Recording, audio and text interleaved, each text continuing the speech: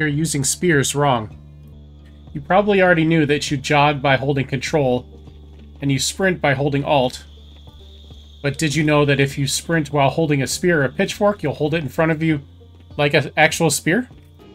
And you, if you do this while running at a zombie, you will instant kill it, like that. But be careful, if you miss, you can get tripped. Or even worse.